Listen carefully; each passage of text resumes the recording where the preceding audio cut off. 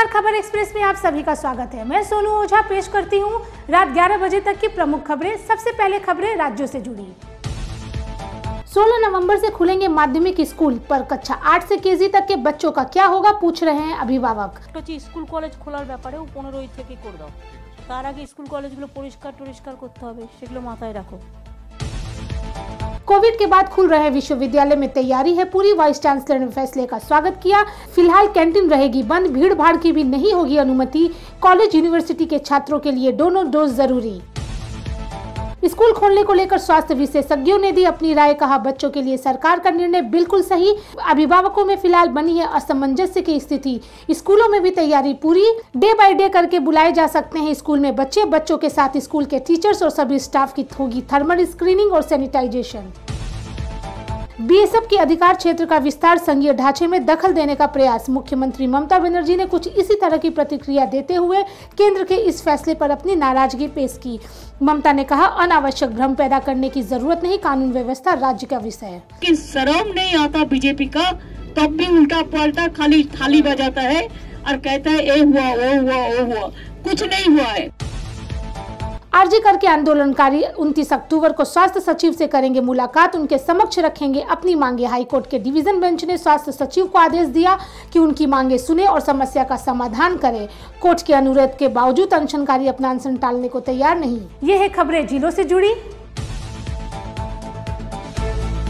हीरापुर थाना क्षेत्र के नई बस्ती 10 नंबर रोड इलाके में हथियार कारखाने में पुलिस की छापेमारी दो गिरफ़्तार। स्थानीय लोगों का कहना है कि पिछले छह महीने से घर में अवैध कारोबार चलाया जा रहा था मामले की छानबीन कर रही है पुलिस। आज सुबह हीरापुर थाना में एक अ, सोर्स खबर मिला कि रहमत नगर में एक जावेद करके एक लड़का है उसके घर पे अस्त बनाने का काम होता है। संगे संगे उसी हीरापुर उधर थाना फोर्स नहीं है एखाने यहाँ पर रेड करा है। रेड करके यहाँ पर दो लोगों को पकड़ा है और जो जावेद का घर है, वहाँ पर एक छोटा सा रूम है। उस रूम में কিছু अस्त्र पावा गए छे। अस्त्र मिला है और अस्त्र बनाने का कुछ सामान मिला है। इसके ऊपर पुलिस कार्रवाई कर रहा है, लीगल एक्शन लेगा। कि यहाँ पे मोहम्मद जावेद बोल के है। यहाँ का बासिंदा है।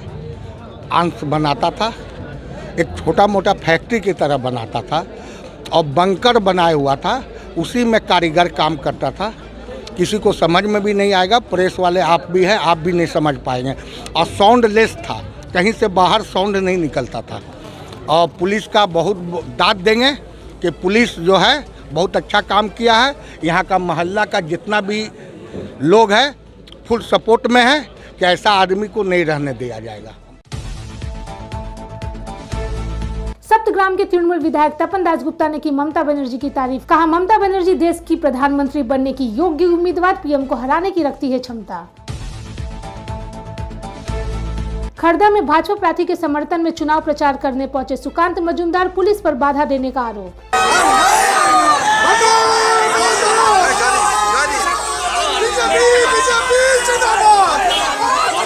उन्हाड़ा जीते হাতে পুলিশ আছে, যেখানে যান দু হাজার, তিন হাজার পুলিশ নিয়ে ঘুরে বেড়ান। পুলিশকে নিয়ে ওরকম অনেক ডায়লগ দেওয়া যায়। সময় আসুক, মানুষ সবই দেখছেন।